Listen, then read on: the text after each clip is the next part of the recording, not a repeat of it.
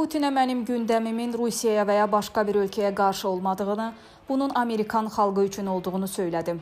Bunu ABŞ prezidenti Joe Biden Rusiya lideri Vladimir Putinlə görüşündən sonra mətbuata açıqlamasında deyib. Amerika lideri bildirib ki, insan hüquqları məsələsi həmişə masada olacaq. Rusiya ilə razılığa gəlmək məsələsində konkret bir təməl formalaşdırdıq.